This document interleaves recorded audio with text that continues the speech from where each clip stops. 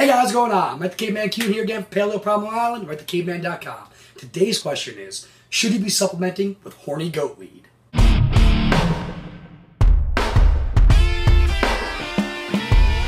the caveman. And the answer is probably not.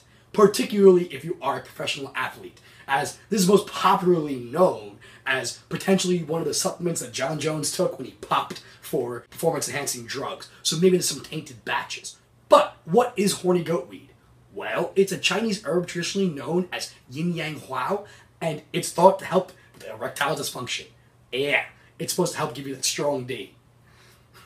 Anyway, the way it's supposed to work is by way of a flavonol compound known as icariin, and it has shown in vitro, in cells, some phosphodiesterase type 5 inhibitor activity, most commonly associated with the drug class, including Viagra, Cialis, Levitra, yeah, those guys. Now, their primary mechanism of action is thought to be by way of increasing the production of nitric oxide.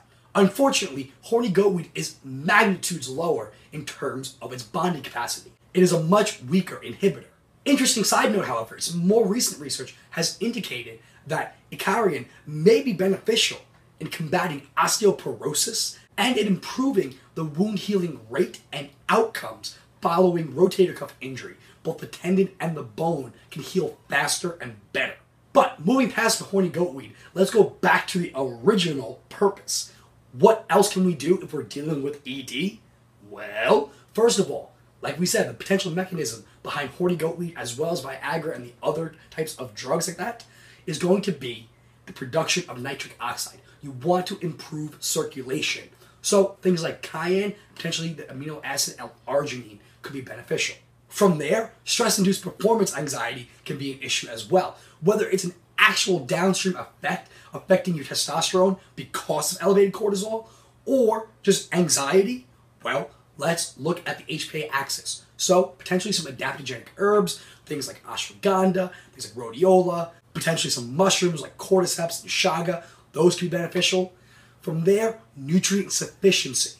So, making sure you have adequate zinc, the essential fatty acids, so lots of grass fed liver, lots of wild caught oysters, egg yolks, all gonna be a great idea. But either way, if you're dealing with those issues, get more towards the root cause than just try and pop a pill.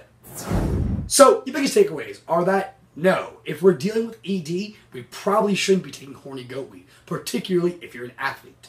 It may be tainted if you're looking at a poor source, and it has weak receptor site activity and probably won't get the job done. Actually, focus on the root cause, address your micronutrient deficiencies, your circulation, and any stress you're dealing with. But if you are dealing with osteoporosis and or are trying to improve some wound healing, there may be some benefit. The research is still being done, but possibly. So either way, hope this helped you out, guys. You know what to do. Like and subscribe down below. Share with your friends. Head over to Instagram and Twitter and follow me at Mike the Caveman over on Facebook at Paleo Problem Island and of course over at thecaveman.com. That being said, have a wonderful rest of your day. Put down the goat. I'll see you tomorrow. The answer is yeah, probably. Now, daily. I'm the caveman.